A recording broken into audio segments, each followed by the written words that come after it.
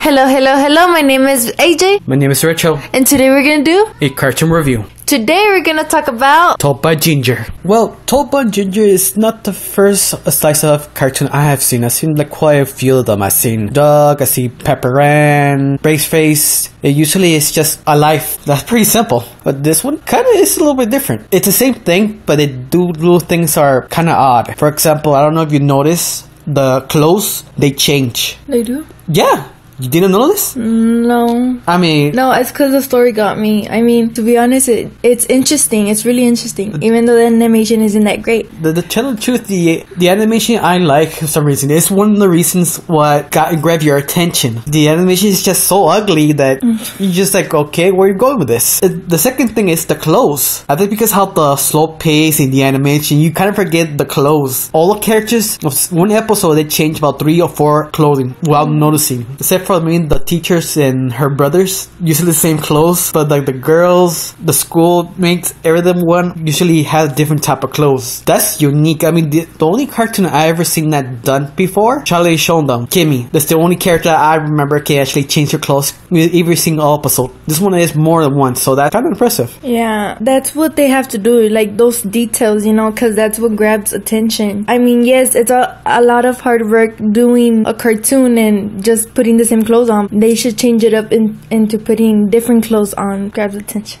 Yeah, grab her attention. The story's about Ginger. She writes everything on this diary she had in her journal since she started to know how to write. She has a weird brother and a kooky mother. She has her two best friends that are weird looking. Kind of traditional. You have the almost high, kind of curious one, and you have the pathetic one, kind of like a Chuckie from Rugrats. Okay, now let's talk about the mean girl. She isn't that mean, to be honest. Uh, that's the weird part. Like Yeah. she's mean, but more sca- more experimental mean. She actually is more like a person than any any other Mean Girls. I mean, I've seen a lot of Mean Girls characters, but these two are the most interesting one. Yeah, they're not that mean. They're like mean, but not that mean, and then they're like sensitive. Because of the number one mean girl, she was really, really sad and sensitive when her mother was in the hospital. Yeah. So you see a part of her that in other cartoons you don't, like the other part of her. Actually, that's the small little details so make it so special. It stands out, basically. Yeah. Um, and then let's talk about her two best friends. Oh, there's not much to talk about. They're just weird.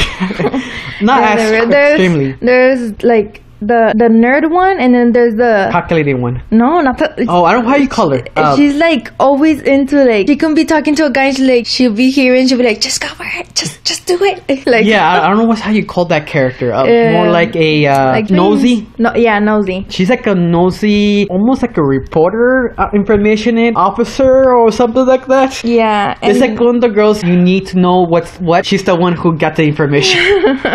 She's like the 007 nerd. yeah and then well that's all for character let's talk about the animation Oh, the animations, I re- we said it before. It's Yeah. ugly, but no ug- well it's not ugly it's not like you're we're seeing a stick walking around like a human stick it's like I mean, this is Chipple, the people who created uh, Rugrats and All Real Monsters. They perfected of the kind of the ugliness, the Russian art style Yeah. that feels kind of real, or not real, real. It's more like like you, have like see, you see now in your parents, like a light so bad, like you don't want to be there because you want to talk to them. yeah That's kind of feeling that the one of those things you watch I you like mean- it depress you. I mean it's not bad it's just Weird, entertaining. Yeah, weird entertaining. It's just that you have to get used to it because you always see like perfect animation. Well, like Um, it's Chipple. What do you expect? I mean, there's more reason why people love Chipple. It's it's just kind of uh, gritty. yeah. So I also, mean, it's one of the first animations who ever done before is show you each year how they actually grow. They actually are aging. They're that- taller. that's another detail that they should be doing. Not like the same. Oh, he's already he's five and he's short and chubby. He's ten and he's still short and chubby. Yeah. He's twenty and he's still short and chubby. I know it's kind of weird. It's, that's like four things that would make it so special. Now, the music. Oh, there's music. Yeah, the music is not that great. Especially, we didn't see the last uh, episode, the final season, the final episode. Mm-hmm. I saw a couple clips. It kind of killed it. Like the main character, the main voice actress, sing the final episode. This kind of like a soap opera ending, and it just killed it. I mean, like wow. I mean, I can see she ca- can sing, but not as a level like a good dramatic ending singing Yeah, kind of thing. well, I didn't hear it, so I can't say anything. I didn't finish it. I just saw clips of it. So yeah, something that I, I recommend. Yeah, don't watch it. don't watch the end episode at least. okay, so what else? Rating? Rating? No, the, the final, the bu- no, the bad and good. Oh yeah, the bad. Sorry, the bad and good. The good is that they put lots of detail into this uh, in- uh, cartoon. Yeah, lots of afro Effort. effort yes, effort. and lots of detail. They do put a lot of detail though. oh, the writing actually unexpected. The writing. Yeah, I mean, to me, like, it's one about uh, another episode you didn't see that her friend saw her boyfriend kind of like cheating because they're on and off again. Uh-huh. And how they tell the story, you think, ah, she gotta tell us, she gotta get mad, all that BS.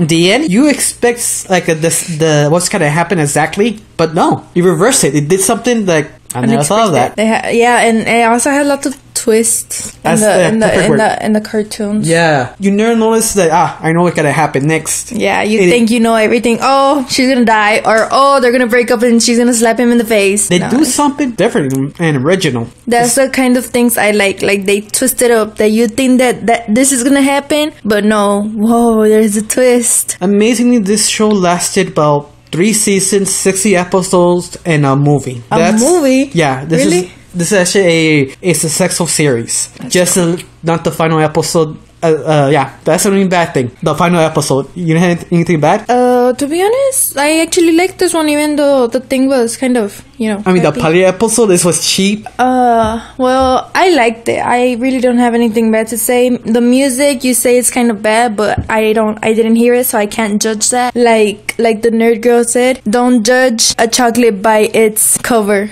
what? Or how I was it? This is. I mean, I don't remember Oh, you exactly can't. she said it. Uh, you can't judge. You can't judge a candy bar, but ah, dang it. Close enough. Oh, I want. I wanted to say that part so bad. Wait. I don't know you where I just can't. said it out. You can't judge a candy bar by its Wrapper. Wrapper. I say it. You can't judge a candy bar by its wrapper. Oh, one- uh, one like it's a little comedy that's kind of unexpected sometimes. yeah. It's not outrageous, not like a like a Disney Channel like I have to be super outrageous. It's like you just say it automatically and you uh, you react to like you can react it or not. You like you, you react all late and then you start and then you start it- laughing. It's one of those things that it's slow. yeah. That's the the whole show is slow pace and react to whatever you can react to. yeah, but that's the thing. It's It's one of the things that kind of killed this Yeah. console is the pace. No, I think it was a six successful because it was slow. Because uh, they made it different. Not like in lots of things. Oh, we have to end it. We have to end it in the second episode. Go, go, go, go. No, No.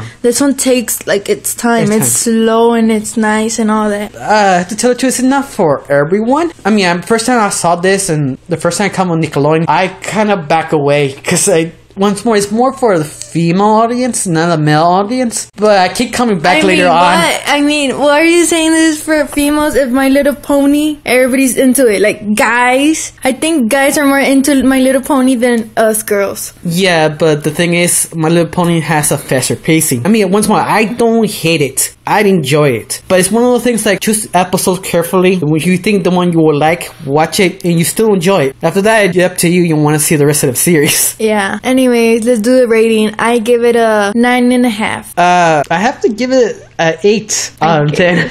Uh, I mean, think uh, that's it, right? Yeah. So, so guys, um, thank you for watching. Have a wonderful day. Don't Bye. forget to subscribe. Bye.